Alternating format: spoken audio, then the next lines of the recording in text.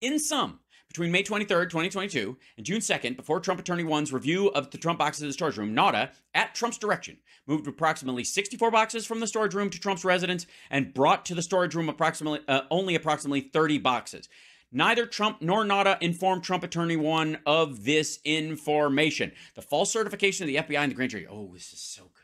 Oh, this is so good. Oh, MSNBC showing the cl- the color pictures. I'll just narrate it. You guys can have that on another screen.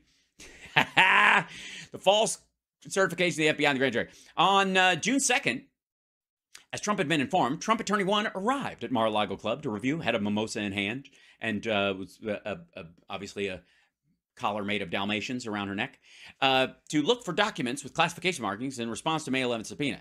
Trump met with Trump Attorney 1 before Trump Attorney 1 conducted the interview.